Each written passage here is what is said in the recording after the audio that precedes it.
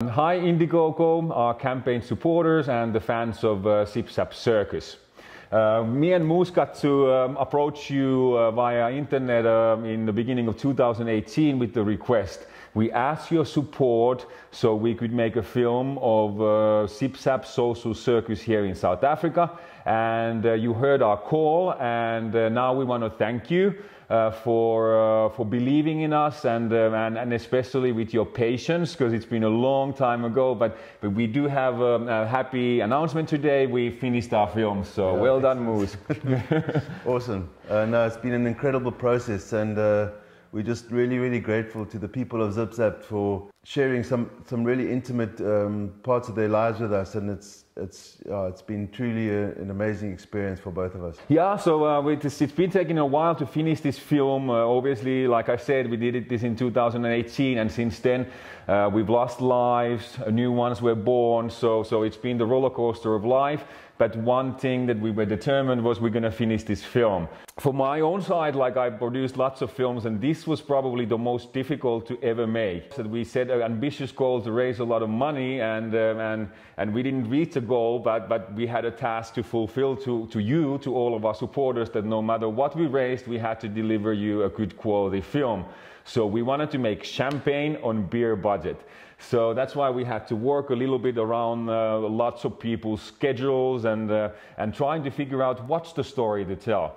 Because in 25 years, quarter of a century, there's a lot of events, there's a lot of people, there's a lot of performances, and what are the highlights that, uh, that, that, that we should share with the viewers? So that's what we were wondering for a long time. And, and then everything came automatically. So um, in the beginning of December, we're going to send all our supporters the film.